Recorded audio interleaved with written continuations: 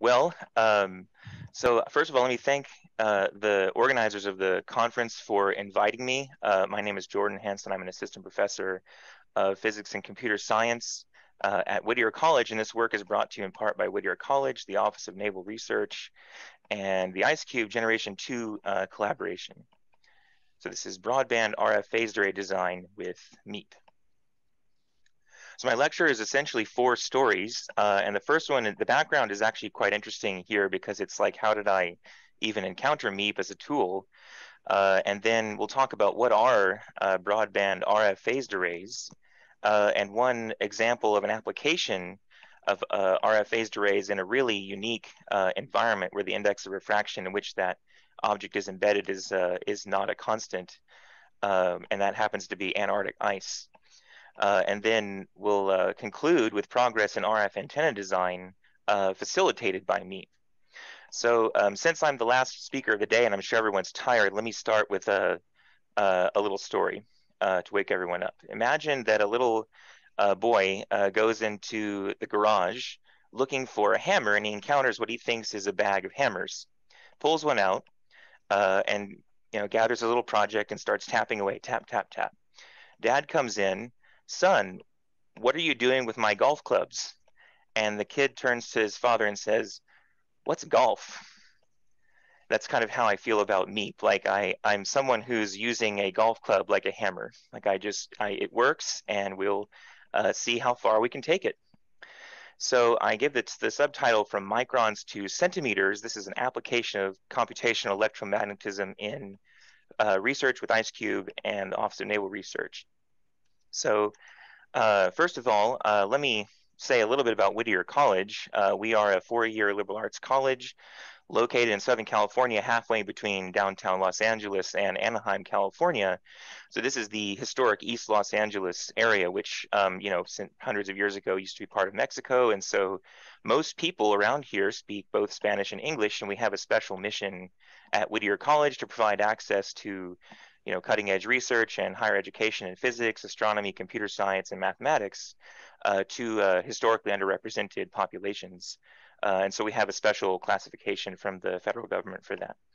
Uh, my research takes place in uh, uh, computational electromagnetism, something called the Askaryan effect, which is related to ultra high energy neutrino detection.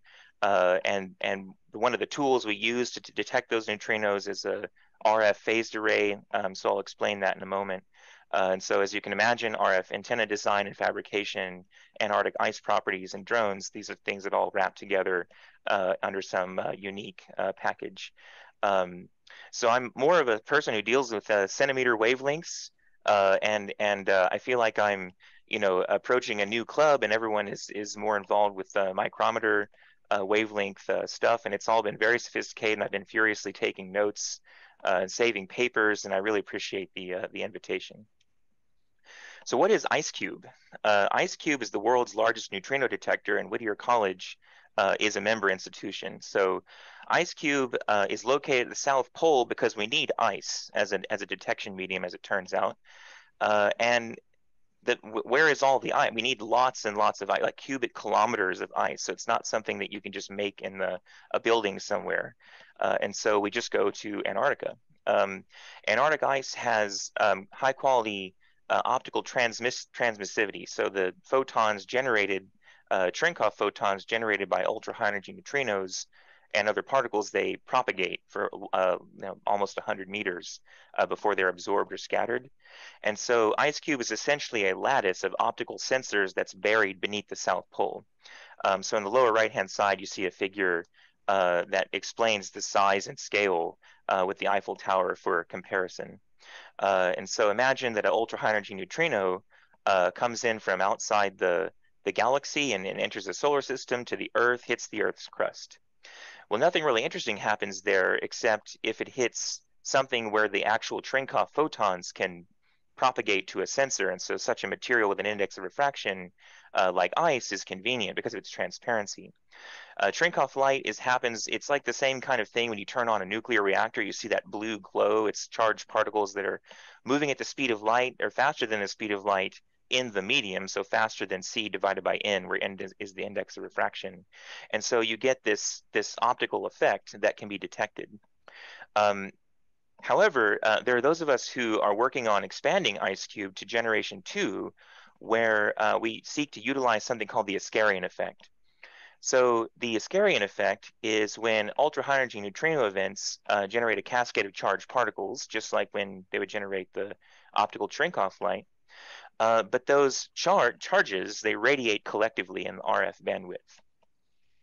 So that's the second way you might detect these things. An IceCube has detected neutrinos up to 10 to the 15 electron volts, 10 to the 15th power electron volts, uh, and that's a world record. Um, but the uh, in terms of the energy, but the um, what's interesting about radio waves is they propagate for like kilometers in ice.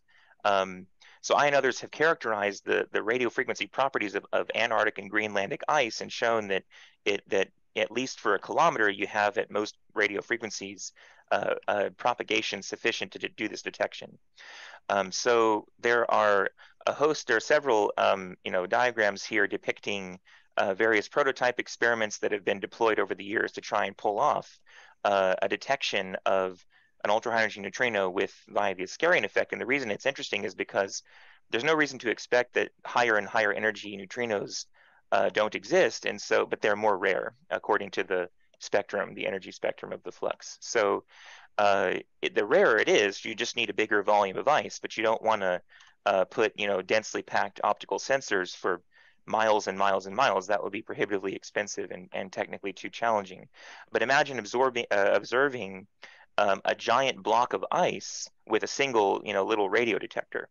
Um, and so it would greatly expand the sensitivity and the energy range of the world's largest neutrino detector, and in particular the ARIANNA experiment. That's an, a long acronym that I won't I won't go into it, but um, it's already done this for cosmic rays. So cosmic rays um, also extend up to 10 to the 15, 16, 17 electron volts in energy. And in this case, you can think of it as a proton hitting the Earth's atmosphere and illuminating like a small town size area of ice with a radio pulse. So Antarctica is nice because in addition to having high quality ice for the potential neutrino candidates, it also has uh, almost no radio backgrounds because there's no people. So um, we've discovered that RF phased arrays uh, are an excellent tool for doing the N-ice detection uh, because they enhance signal, they enhance, they enhance the signal to noise ratio. Uh, so what is an RF phased array? It's essentially a line of antennas working together. If you add the signals coherently, uh, you get an enhancement. So yeah, like in the upper left-hand figure, this is a figure I'll go over once more, but it's essentially a line of antennas on the y-axis that can radiate, for example, in the x direction uh, or receive, and you have to add up the signals in the right way. Um, so I came to this, I came to discover MEEP because I was also working for the Office of Naval Research, and I saw someone uh, reference the Office of Naval Research on one of their slides before as a uh, as a partner institution. I thought that was kind of cool. So um, we uh, were interested in phased arrays for a variety of reasons: telemetry, targeting, tracking, GPS modernization, and uh, in particular, uh, you can imagine that if you had a system where it's meant to radiate um, a line of antennas, you can just give each each of them a different phase. Uh, that allows you to build a radar beam that you can steer. Right, the beam angle is somehow related to the phase shifts you give all of your your little antenna elements, and so that's known as an active electronic scanned antenna system or an AESA. Uh, and as you can imagine, building a radar system that has no moving parts is highly useful for the object pictured in the bottom right, F-35 Raptor. Uh, so I'll use uh, a concept called the radiation pattern, normalized radiation pattern. Uh, I took this figure from Introduction to Airborne Radar by Stimson. Uh, the yellow figure shows in the middle part, it shows a two-dimensional radiation pattern, which is uh, essentially the normalized radiated power to zero decibels. Um, so in the main uh, direction, you know, it, you call that zero dB, and as you go to the right or to the left, or in this case, as you as you change the azimuthal angle, the power is reduced to let's say minus three dB on either side, and that forms a width that you call the the beam width. Now, um, that's a two-dimensional um, projection of what it really is, uh, and then and in the bottom left is the, th the full three-dimensional case where it's you know it's it, it describing all the degrees of freedom of of the of the pattern. So what I've done here is uh, given some links. This is for later, so people can can go back and research like how how are these things tied together. Um, I've got the radio detector prototypes, IceCube, Whittier College, ONR, and uh, the specific division of Office of Naval Research with whom I um, have this I share this work. So um, so one of the things I really appreciated about MEEP was the documentation. So I want to say that over and over again. I really appreciate whoever maintains the the MEEP read the docs um, and the fact that it's free and open source. Uh, because at Whittier College, we are a primarily undergraduate institution. We don't have the resources to purchase what uh, typical RF engineers purchase, which is proprietary software to design high frequency, like you know, um, 5G level uh, antennas in the you know five to ten gigahertz range. Um, you know those things can run to ten thousand dollars, and uh, we just can't do that. So I started uh, when they asked me to research uh, designing RF phased arrays. Is there an open source software tool that I can use to uh, to design RF antennas? Um, I had worked with others in the past where someone else, like my PhD advisor or uh, postdoctoral fellowship advisors, had purchased them, but I needed an open source tool and I needed one quickly. Um, so I encountered this uh, this um, review article uh, by Alessandro Fedeli et al. Uh, in an electronics journal. This is an open access journal uh, via MDPI entitled Open Source Software for Electromagnetic Scattering Simulation, the Case of Antenna Design. And they went through uh, many choices that RF engineers typically choose in the open source world, but they each have their own special like applications. So there's the classic NEC family of codes, numerical electromagnetic code. Uh, the ground penetrating radar community has gprMax. There's one called openEMS, and then MEEP as the it was the first finite time difference uh, uh, sample or, or example mentioned, um, but they didn't use it in their their analysis comparisons of these different codes, but they did mention that it was written in Python. That's all I needed to hear. So they gave they gave a special figure at the bottom left, um, a kind of explaining the design flow or design process for uh, RF antennas. And in our paper, we simply updated that to include uh, steps that you have to take to do these things in MEEP. Uh, and so then uh, in 2021, we published uh, our broadband RF phased array design with MEEP. Uh, and that was in the same journal, Electronics Journal. It's an open, open access journal. And that was important for me because uh, most of my students, well, our college can't um, secure access to every IEEE journal. So uh, by doing it this way, our students can access it anywhere they, wherever they are. Um, and this paper uh, won top 10 most notable articles honors for six months in a row. And I was uh, emailed by people from, I think it's up to five countries now asking me for my code or how explaining me how you did this. Um, and I had no idea uh, that people were were hungry for this. And I thought um, it was really interesting that I had stumbled upon something that was so uh, unique. And I just it was just out of pure necessity that I needed this. Um, so when you typically design an, an, antenna, you start with some pick like the forward design way of doing it is you typically pick uh, some classical example of an antenna and you're just going to modify the shape the um, in like a continuous way. Um, and so once you define your element geometry, um, I chose to um, essentially break it into Legos or segment it into many little MEEP objects that were circles and cylinders and things like this, um, you know, uh, rectangular geometric objects. Um, and I wasn't yet ready to use CAD design to, to include that with my MEEP uh, uh, computations. But once we did that, um, we defined, you know, near to far uh, surfaces or near to far regions for near to far projection. Uh, we decided what kind of array to do. So you can do a one-dimensional array, like a row of antennas, uh, or you can do a grid of antennas, and I call that a two-dimensional array. Uh, and then you have to decide if you're going to do single frequency antennas or broadband, and also uh, how what's your inter-element spacing. So if you see um, you know, in this diagram, there's a dy parameter in the upper left, like how close your antennas going to be.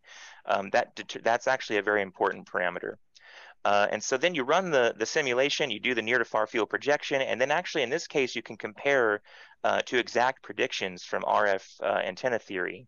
and it turns out that MEEP um, provides a, a near to far field uh, tutorial. So once again, thank you so much for the, the wonderful documentation and and it matches antenna theory exactly. And I was really um, surprised by that, and it was very much of a delight. Um, so this figure, um, let me just cover the the interesting or the important uh, physical uh, parameters in this picture, all the antennas are polarized linearly. Um, and that's going to be true for the for the duration of my my work here. Uh, and then there's 16 of them, so I label them with an integer. So the capital N is the total number of them. Uh, they're all linearly polarized in the y direction. They're radiating at least initially in the x direction, unless they have different phases. Uh, so let delta little phi be the azimuthal beam angle. That so if you're you know, deviating from zero degrees, then you've got some delta little phi. Uh, let delta capital phi be the phase shift per element. So um, I know that's clunky notation because they're both phi, but actually it turns out they're they're pretty much the same thing. They're they're linearly proportional. So if I give antenna number one zero degrees and then antenna two 10 degrees, antenna three 20 degrees, then that's a delta phi of 10, 10, 10, 10. And that corresponds to a single beam angle. So the radiation pattern is directed, you know, for a given uh, delta little phi. Uh, let lambda be the wavelength and then dy is the inter-element spacing. So here's some a little bit of phased array theory, two two theorems, and maybe these things look familiar um, because again, I'm I'm just someone using a golf club like a hammer. Um, you guys, I think, probably know a lot more than uh, than I do about about this sort of thing. Um, but it turns out in equation one, you can show that the beam angle is linearly proportional to the to the the phase shift per element, and the the constant proportionality or the slope uh, is just the ratio of lambda, lambda divided by the inter-element spacing. Uh, so typically what you want in a phased array is um, a high slope. You want lambda to be much larger than inter-element spacing so that a little bit of change in delta phi, capital phi on the right-hand side gives you a big change in phi on the left-hand side. Um, the problem there is that the beam width is also proportional to lambda, so um, you don't always win if you do that. If you just increase your lambda, uh, sometimes you know you'll get a lot of steering, but the beam is so fat that it doesn't matter. Um, so there's a trade-off there that has to be optimized. Now the radiation pattern, there's actually a an analytical expression for the radiation pattern if you know the the kind of uh, phased array you're doing. So let P, capital P, be the normalized radiation pattern or power versus azimuthal angle in this case. So I'm doing, I'm imagining here that phi literally is the azimuthal angle and P is normalized power radiated at that angle. Um, and you can show that it's this complicated expression. Um, phi zero, phi sub zero is the reference angle. So whenever you have no phase shift per element, then it's going to radiate at some angle. to call that phi zero. That's typically that's typically zero degrees for me, but you don't want to assume. Um, and then uh, a little corollary of equation two is you can predict the beam width, and it, what you get is that it's some numerical constant times the, the wavelength, so it's the beam width is actually inversely proportional to frequency. Uh, for most RF engineers, that's a really common uh, bit of knowledge that the, the higher the frequency you go, the narrower your, your um, beam pattern is. Uh, but it's also inversely proportional to capital N, or L is actually capital N times d phi, or d um, dy. So it's the total like lateral length uh, from left to right of the, the phased array. So the um, so those those properties are going to be elucidated as I as I run the MEEP computations, and I'll show that those are the those are things that are actually going on. So um, so here are my MEEP diagrams. Uh, these these comp computations are just for one-dimensional phased arrays, uh, and and I do them in two dimensions at first, plus time. So I chose two kinds of uh, elements. I chose Yagi-Uda style elements, which are like like the television antennas I see on every, top of everyone's house and apartment building here. Um, they're just collections of dipoles with a common spine, and then one dipole, the, the red one, is responsible for doing the radiating, and the other elements are shaping and guiding the, the, the radiation. Uh, the blue surfaces are near to far regions for near to far projection. The green are PML perfectly matched layers. Uh, and there are 16 sources with 16 um, individual elements for a one-dimensional phased array.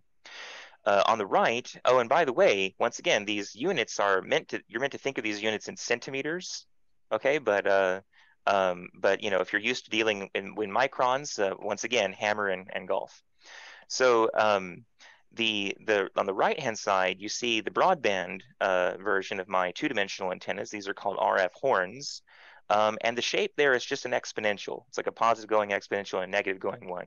And there's an actual function I use to describe that. And I just put a little a little square um, according to the center location of that function and build the, the horns that way.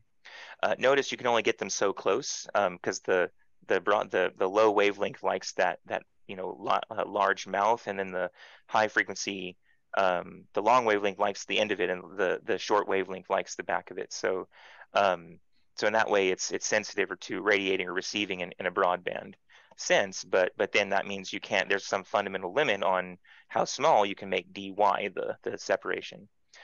Okay. The, oh, and by the way, when you express the two-dimensional radiation pattern in just the xy plane in this case, that's called the E plane. These are all uh, y polarized. They're all polarized in the y direction. All my sources. Um, and then the H plane would be the the XZ plane, XZ, um, but there is no H plane for a purely two-dimensional calculation. Um, so I'll breeze past this table pretty quickly. This is just to show you that in the paper we we provide the the parameters so that these results should be repeatable. Um, but there's and it's describing exactly how you build the the horns in the Yagi-Uda antennas. Um, I'm going to normalize my radiation patterns to the beam angle like power, so they're always going to be maximum at zero decibels. But there's something that you have to know about about phased arrays when you scan them as far to the left or as far to the right as you possibly can.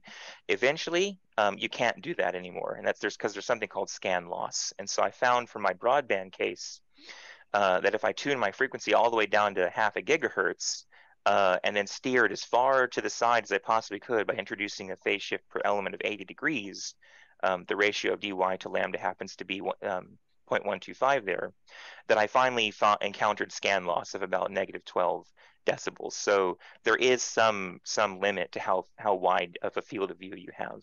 Um, but but above that, it's it's it's less than a decibel. So you can um, rest assured that when I normalize my radiation patterns, that I'm essentially telling the truth. Um, so my first set of results for the 1D array, uh, so for both the single frequency Yagi-Uda style and then the broadband are shown here. Uh, in the upper left, there's a figure where it's the, the y-axis is the beam angle uh, divided by the beam width. So that's a unitless parameter. Uh, and then on the x-axis is the phase shift per element in degrees.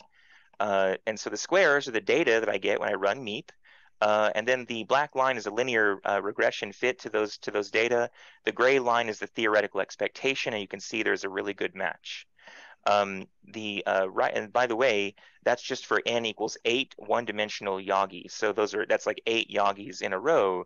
The upper right-hand figure is the exact same, but it's n equals 16. So the the beam width is shrunk by a factor of two. So you get more steering for more antennas, uh, but you should still expect a a linear fit. Uh, and so, uh, and, and the, a linear relationship between delta capital phi and delta little phi. Now, uh, lower left, uh, beam width of the n equals 16 horn array uh, versus frequency should be go as 1 over f, albeit there's a there's a, a little complication which I have to add a constant because I'm dealing with finite number of antennas, so you're not going to get a beam width of zero ever. Uh, but it, the functional dependence on frequency should be a one over f frequency uh, frequency dependence. And so I do fit a one over f uh, function, and and it and it I mean a one over frequency function, and it fits the data uh, very well.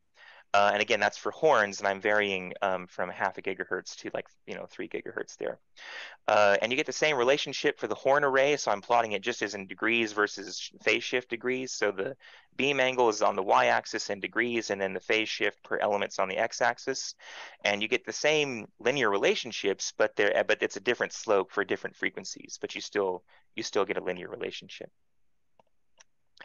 So here are my um, you know array patterns. And so the uh, you know I'll just kind of go through these quickly but the the blue is the MEEP results and then the the red is equation two the, the theoretical prediction for the the the array um, the the array pattern the beam pattern.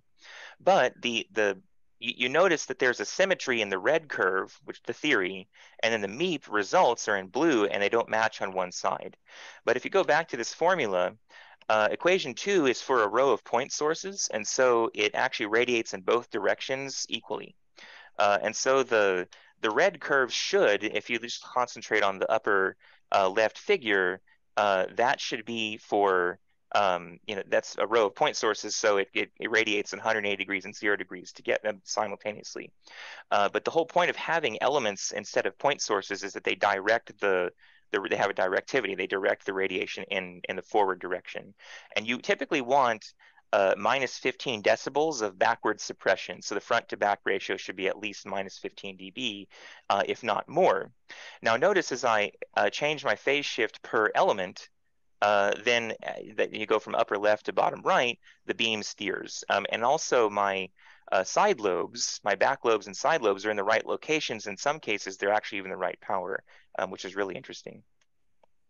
This is for a higher frequency at 5 gigahertz, but it's the same style uh, plot. So you can see, again, there's a good match for the main lobe.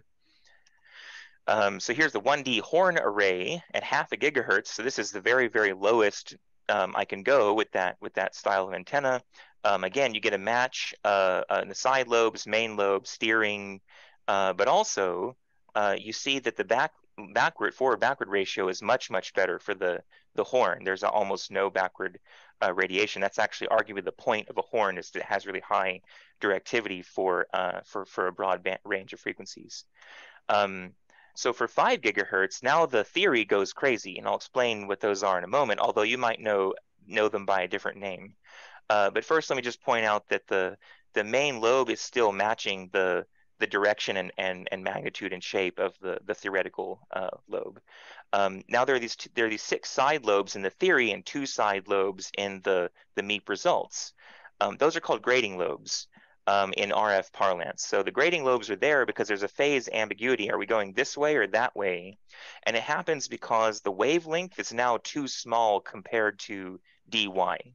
So that ratio is really important. And if it gets too um, if it if it gets too big, if if lambda is is much smaller than dy, then then all of a sudden grating lobes appear theoretically. But what's going on here is that the horn is suppressing them because of its shape. So there's something called the pattern multiplication theorem, which says you take the the red curves, the theory for the row of point sources, and multiply it by the array pattern for the individual elements, and the product of those things is actually the the computational uh, array pattern. Here's what the fields look like. Um, I don't want to run out of time, so I'll just kind of show that. Uh, we do visualize the fields. This is the the, the y component of the field uh, plotted in uh, the positive uh, values are pink and the blue values are, are the negatives. Uh, the corresponding array, uh, the corresponding radiation pattern is on the right. It's nine degrees away from, from forward uh, and then this area is 80 by 150 uh, centimeters with a resolution of only six, but because of the long wavelength, it turns out that's 70, 72 pixels per uh, per wavelength. So you can interpret the individual little features. You can also see where the back lobe comes from as the radiation turns around the the um, the uppermost and the bottommost antennas. Uh, RF engineers usually get rid of that by inserting a backplane. By the way, I should say that I really am in the far field. When I get the radiation patterns, I do near to far projection out to 10 meters. Um, so I'm interpreting the units here to be centimeters, so I take that to 1,000 centimeters. Um, so how do you update these two uh, theorems for two-dimensional phased arrays? It's really simple. You just account for, like if I have a grid of antennas here um, in the, the uh, ZY plane, and I'm going to radiate in potentially in the X direction, which is into the into the page, right hand rule. Um, so the it's the phase shift per row and a phase shift per column that ends up mattering. Also the the the um, uh, now the H plane, if my if I'm polarizing and still in Y, the E plane is the XY plane. Now the XZ plane is called the H plane uh, radiation pattern. Uh, those two radiation patterns like can be obtained by factoring the the overall radiation pattern. So there's a separate, you know, E plane H plane pattern. Um, right, that's all I want to say about that. Uh, I did have to modify the the um, the two-dimensional horn needed to be modified due to memory constraints because this was all taking place during lockdown with my one-year-old on my lap, and I had just a laptop. That was it. So I had eight cores and 16 gigabytes of RAM. What can you do, right? And so I just figured out that if I reduce my uh, n by end. So if I just do eight horns by eight horns and I kind of modify the shape a little bit um, to use less MEEP objects, then I can fit that on the laptop. Um, but I didn't have to modify the Yagis at all. I also had to insert a backplane for the eight by eight horns just to get rid of some of the backward radiation. Uh, so these are the same kind of linear relationships for, for, for beam angle versus phase shift per row and column. Um, and the black line isn't even a fit anymore. It's just a theoretical expectation. Um, so I get the correct steering um, in E and H plane. On the right-hand side, I just show you one quarter of all the resolvable locations where I give the error bars as the, the beam width. This is a 16 by 16 Yagi Uda at 5 gigahertz. So uh, if I gave, if I did all the positive uh, phase shift per uh, per L per row and column, you'd get you'd get also this like 36 times four uh, uh, points that you can resolve in the uh, forward direction. Also, the it's important to mention the dy, the separation in, in the y-axis is the same as dz, even though the horns are have an asymmetry. You'll see what they look like in three dimensions in a moment. Um, same results for the n by n equals 8 by 8 horn array. This is at 1 gigahertz. Um, and you get the again, you get the correct steering, so the, the, the data points agree with the theoretical prediction there. Um, I just chose the location of zero phase to be different on the grid, so you get a positive uh, shift in beam angle versus positive uh, phase shift per row and column, um, and that's just a, a, choice that you can make in the in the code. Um, you also get the fact that the E plane beam width and the H plane beam width are, are both going as one over the frequency, uh, which is which is still the case. That's still what the antenna theory predicts. Um, and then uh, you got radiation patterns. So in the, uh, the, the upper row, you see all the E planes, and, in the bottom row, you see all the H planes. The left-hand figures are for three gigahertz, four gigahertz on the right-hand side, six figures, E and H plane. Uh, and so again, you get wonderful agreement between MEEP and and the uh, the theoretical prediction, albeit we're not we're, we're actually suppressing the backward lobe. Um, finally, I get some disagreement between MEEP and the antenna theory when I go to the 8 by 8 three-dimensional horn structure.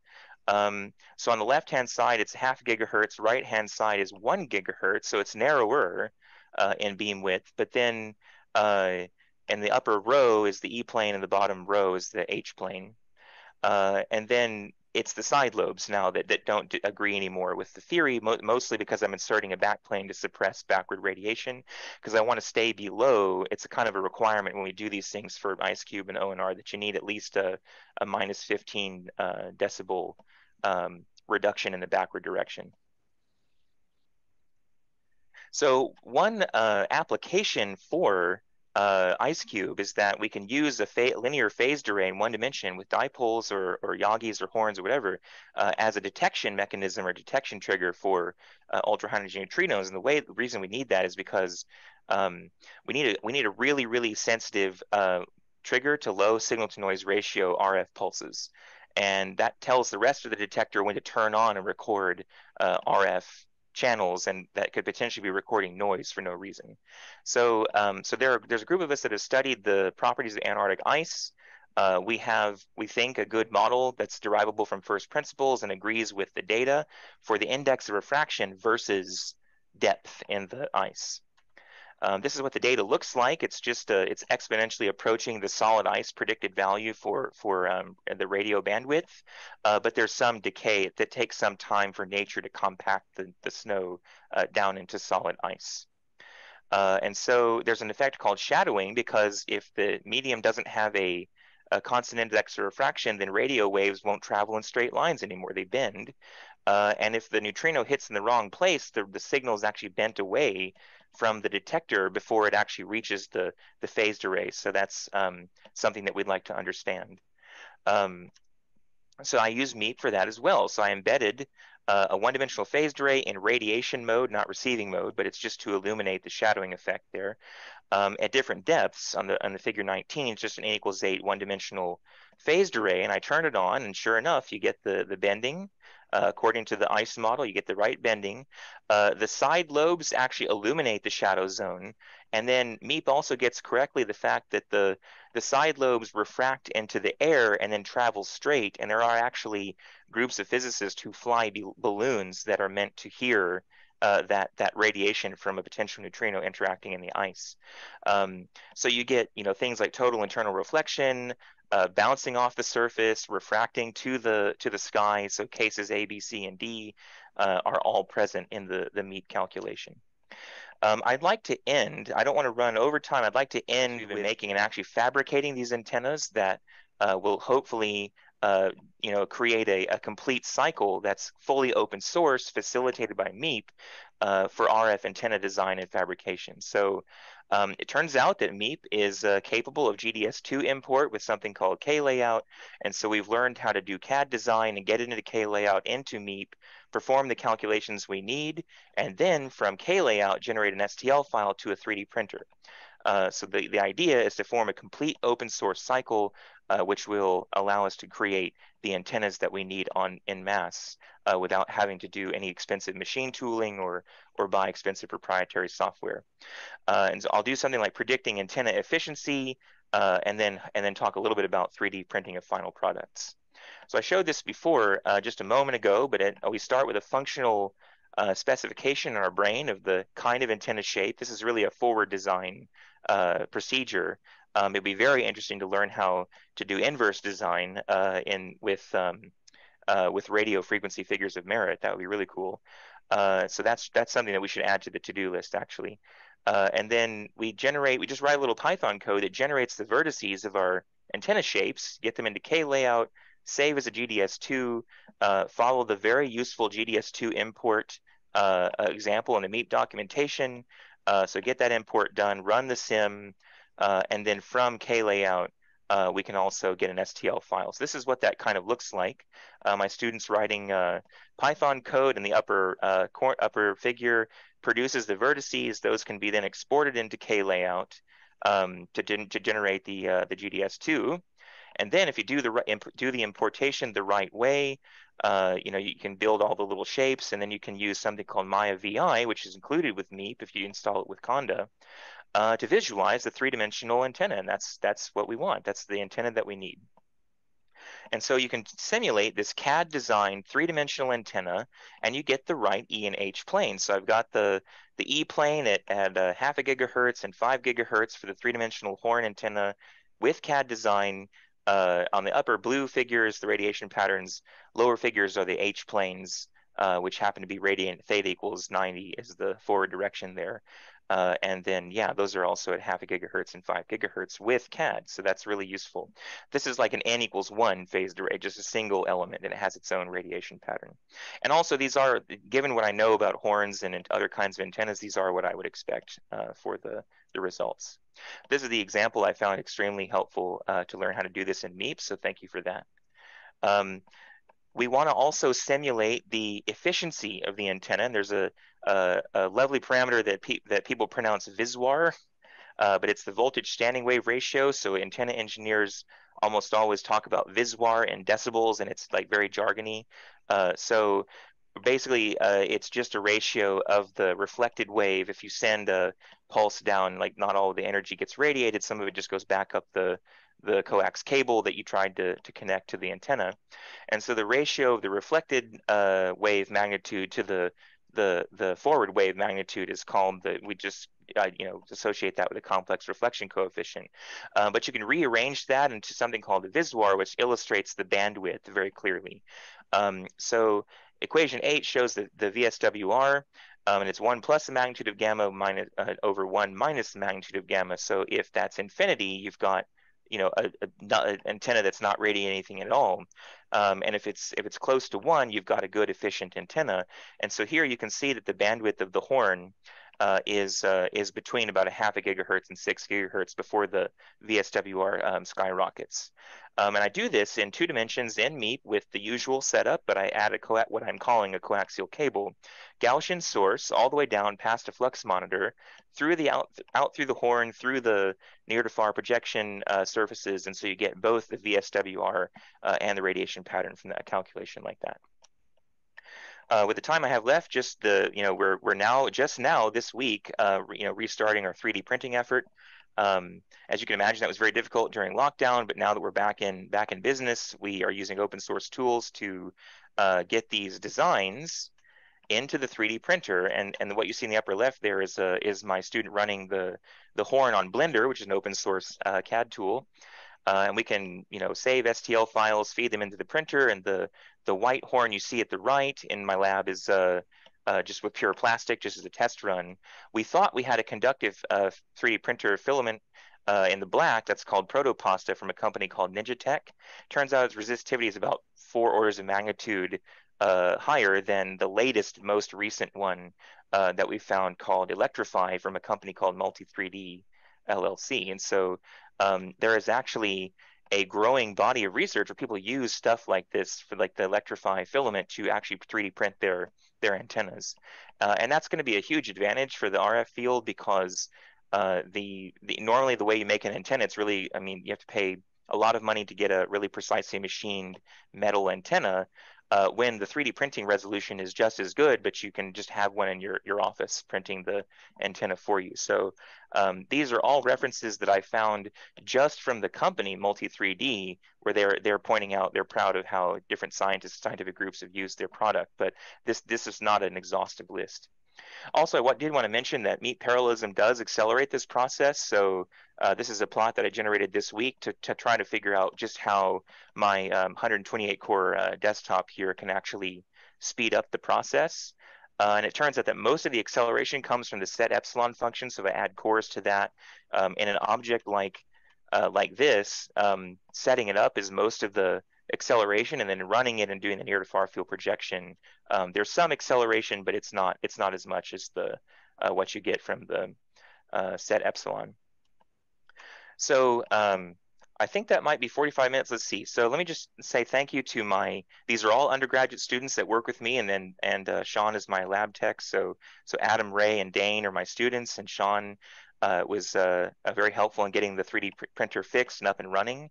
Uh, I talked about how we got here, microns to centimeters, what's a phased array, how do we apply it to things like IceCube Gen 2 and the Office of Naval Research, uh, radar design, um, how we're actually using MEEP to create real antennas and closing the loop to create a fully open source uh, design system for RF antennas.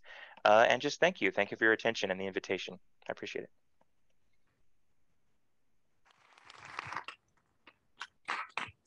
So thank you, Jordan. Let, let me begin by saying welcome to the club. Uh, so, uh, uh, you know, we, uh, the theorists, we like to say that Maxwell's equations are scale invariant. So it's the same physics if you multiply all the dimensions by a, a thousand and all the wavelengths by a thousand. Uh, although sometimes the terminology changes. So for example, what you were calling grating lobes or essentially what Ardavan was calling diffraction orders yep. in, this tutorial uh, yesterday when the wavelength becomes small compared to the period.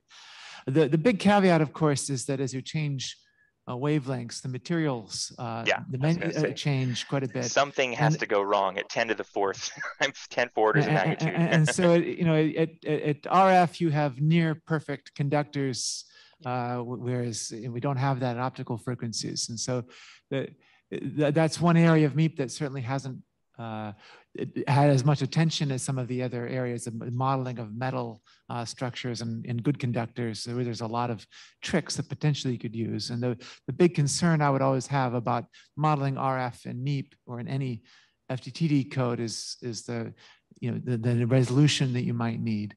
I know you, I noticed you were using 70 pixels per wavelength, which is relatively high resolution. I, I don't know if you could say something about the, the convergence you, you observed and, and the resolution yeah. requirements.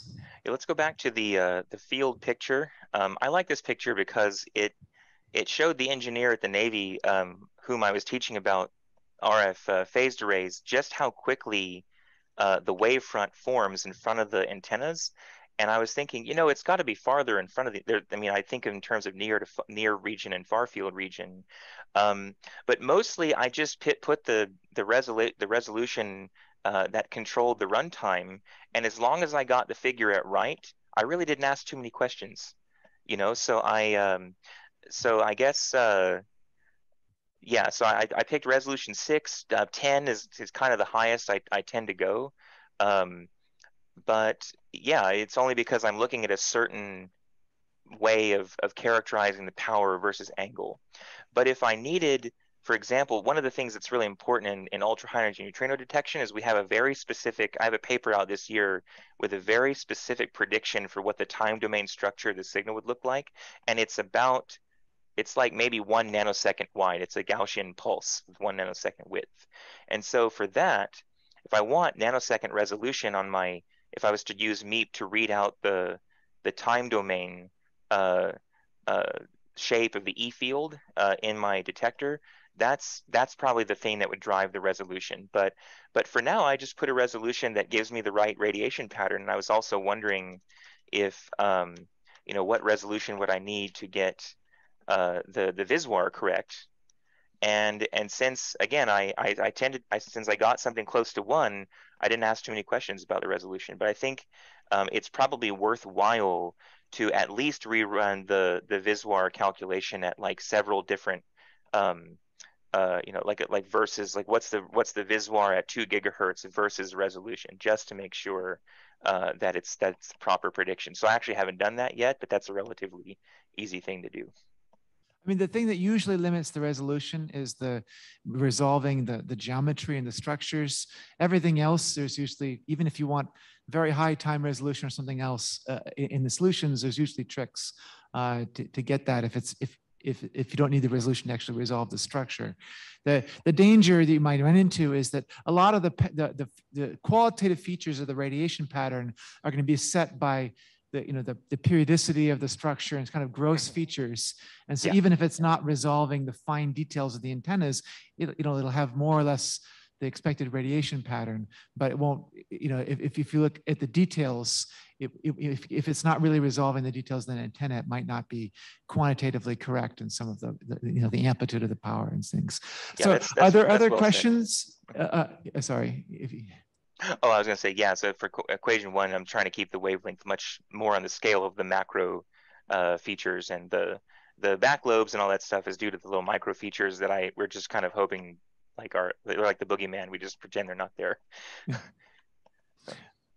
Other other questions, Ryan? Hi, Jordan. Really nice talk. Um, coming from an undergraduate, primarily undergraduate college, and having learned MEEP yourself recently, I wondered if you you had any opinions about using MEEP in your your classes, your education to teach, you know, electromagnetics of some kind, and whether what what, what would it take to adapt to do something like that? Yeah, so that is well. Okay, so I'll say I'll say two things. Um, I am the person who teaches our upper division uh, electromagnetic theory class, uh, and I've taught it now twice, but one was during lockdown. It was very abnormal, abnormally taught. It was taught in like seven week modules. So uh, let's pretend that never happened. Um, that would be really hard to do anything except, you know, Maxwell's equation one, solve it. Maxwell's equation two, solve it. But then once I finally got in the classroom in a full semester, um, you know, I decided that although I wanted to include MEEP, um, I, I felt that the students like they needed kind of the very most basic regular uh, thing before we started asking to do a bunch of Python since they were all rusty about that. Um, but what we did do um, is we have instead of in lieu of a final exam, I typically have a summative project like a final project where they do some research, a literature search, a computation, or a solving a really hard problem from the book. And for some of them, I encourage them to to learn what is MEEP uh, and I would I would sit with them and kind of do a one-on-one kind of thing with them, and then and we would present that at the the end of the class.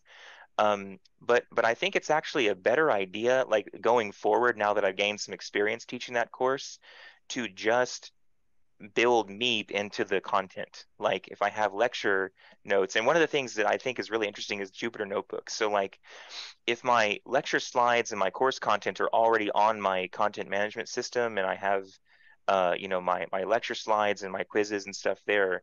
Um, why not have the Jupyter notebooks, you know, right alongside? Uh, we use happen to use Moodle. I don't know what people use at their institution, whether it's like Blackboard or other, the other ones. But if on if on Moodle I have a Python or a, a Jupyter notebook, um, this can run in the browser, and so they shouldn't need to install anything in uh, on their own laptop. And I find actually that's one of the the, the main bottlenecks with un- getting undergrads to understand computational physics is installing getting a situation where they can just run the, the code on whatever laptop they have. Um, sometimes they'll use like Spyder, or sometimes they'll use some other one where it's a fully integrated IDE for Python or something, um, and it's slow and it just slows down their win- their old Windows laptop. Whereas if you're doing it on a browser, theoretically anybody should be able to do that.